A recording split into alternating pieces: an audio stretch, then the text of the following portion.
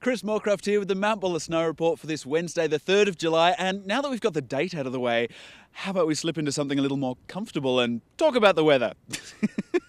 yes, that was a pun, and no, I won't be including any others in the snow report. There is no shortage of wind blowing around today, and it is going to get a little bit stronger as we head towards the weekend.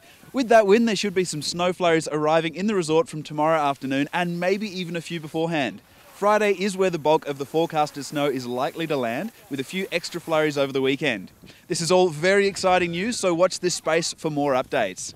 Six lifts will be running today with the best skiing and boarding on Bourke Street. The surface is soft with fair to good cover on all open runs. A top of 4 degrees is expected, but it will feel much colder because of that wind.